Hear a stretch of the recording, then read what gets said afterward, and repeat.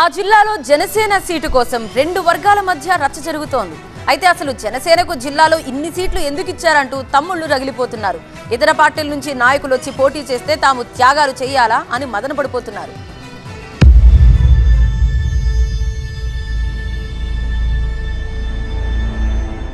విశాఖ జిల్లాలో TDP Janasena BJP కూటమి టికెట్ల కేటాయింపు వ్యవహారం రాజకీయ రచ్చకు దారితీస్తోంది. విశాఖ సౌత్ నియోజకవర్గంలో జనసేన పార్టీకి చెందిన రెండు వర్గాల మధ్య వివాదం తలెత్తింది. విశాఖ సౌత్ నియోజకవర్గ జనసేన టికెట్ వంశీకృష్ణకు ఇవ్వద్దంటూ ఆ పార్టీలోని మరో వర్గం నిరసనకు దిగింది. వంశీకి టికెట్ ఇస్తే సహకరించేదే లేదంటూ మూడు రోజులుగా కార్పొరేటర్ సాధిక వర్గం నిరసనలు చేపడుతోంది.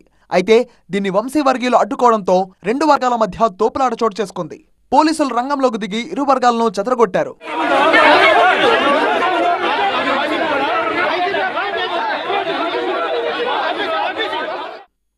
జనసేనలో పరిస్థితి ఇలా ఉంటే అసలు జనసేనకు జిల్లాలో ఎక్కువ సీట్లు ఇవ్వడంపై టీడీపీ నేతలు కార్యకర్తలు తీవ్ర అసంతృప్తితో ఉన్నారు.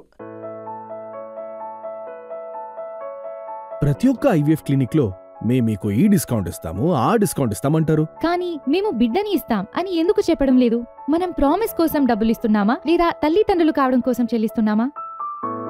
Nova IVF. దాగిన ఖర్చులుండవు మీరు నమ్మగల నైపుణ్యం మాత్రమే. పెద్దగా బలం లేని జనసేన పార్టీకి ఇన్ని టికెట్లు ఇవ్వడం ఎందుకని ప్రశ్నిస్తున్నారు?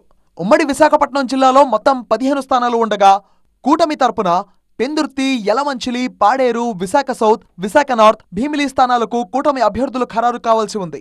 వీటిలో విశాఖ సౌత్ పెందుర్తి అనకాపల్లి సీట్లను జనసేనకు కేటాయించింది టీడీపీ. అనకాపల్లి నుంచి కొనతల రామకృష్ణను జనసేన అభ్యర్థిగా ప్రకటించింది. ఇక విశాఖ సౌత్ పెందుర్తి నుంచి కూడా జనసేన అభ్యర్థులు సూత్రప్రాయంగా ఖరారయ్యారు. అయితే జనసేనకు కేటాయించిన స్థానాలను ఆ పార్టీ ఇతర పార్టీల నుంచి వచ్చిన వారికి ఇవ్వడాన్ని టీడీపీ నేతలు జీర్ణించుకోలేకపోతున్నారు. ఇలాంటి పరిస్థితుల్లో ఆయా అభ్యర్థుల గెలుపు ఎలా సాధ్యమని ప్రశ్నిస్తున్నారు. ఇప్పటికే జిల్లాలోని టీడీపీ సీనియర్ నేతలు ఈ విషయంపై తీవ్ర అసంతృప్తితో ఉన్నారు. పెందుర్తి సీటు ఆశించి భంగపడ్డ మాజీ మంత్రి బండారు సత్యనారాయణ ఇప్పటికే టికెట్ దక్కని పలువురు టీడీపీ నేతలతో సమావేశమయ్యారు. ఆయన సైలెంట్గా ఉంటారా? లేక పార్టీకి షాక్ ఇచ్చే నిర్ణయం తీసుకుంటారా అన్నది ఇప్పుడు సస్పెన్స్గా మారింది. దీంతో విశాఖ తీరంలో కూటమి సీట్ల కేటాయింపు ఎలాంటి రాజకీయ పరిణామాలకు దారితీస్తుందో అనే ఆసక్తి నెలకొంది.